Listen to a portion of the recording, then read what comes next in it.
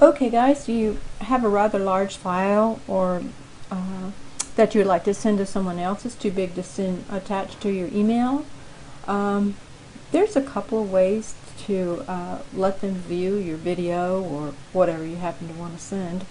Uh, one is to send it by send this file and let them open it on the other end. I'll show you how to do that and then also just uh, convert the file and upload it to YouTube or some other video hosting site. So what you want to do is go over to sendthisfile.com and I've done that.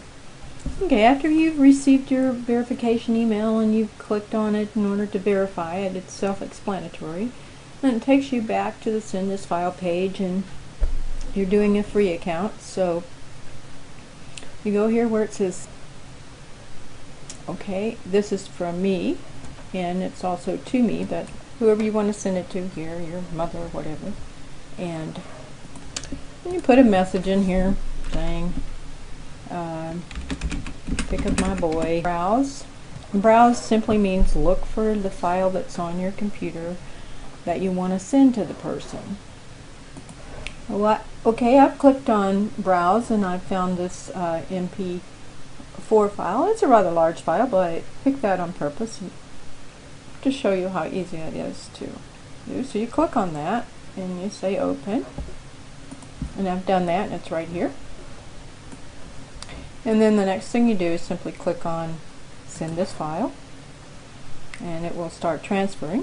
It's quite a large file so it might take, you know, five or six minutes. Um, I don't know if you can see that where it says status transferring.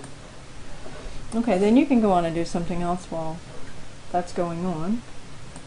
Okay, the person that you're sending it to, when the file reaches them, should get an email that looks something like this. It, says a send this file notification. And here's the file that I sent right here.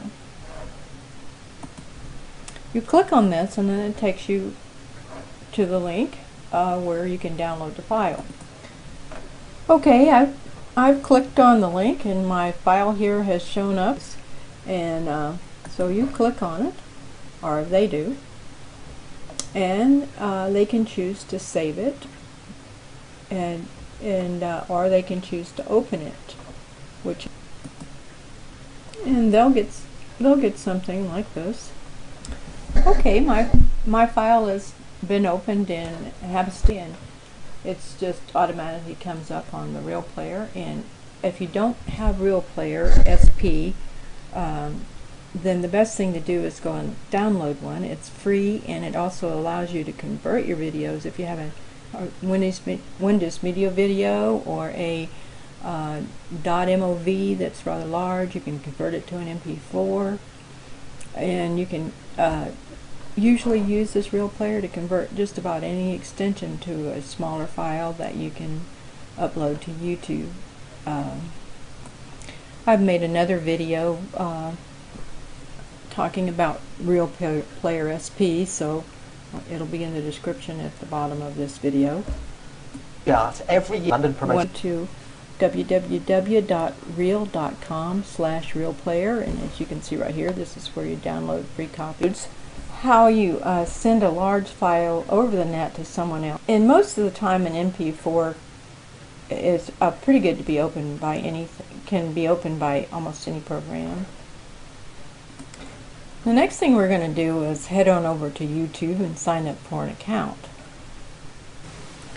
Okay guys, you just go to youtube.com and you create an account. And you fill in all the stuff here and they'll send you an email. Uh, sign in and it um, takes you here and you see right here Roses on My Mind is the name of my channel.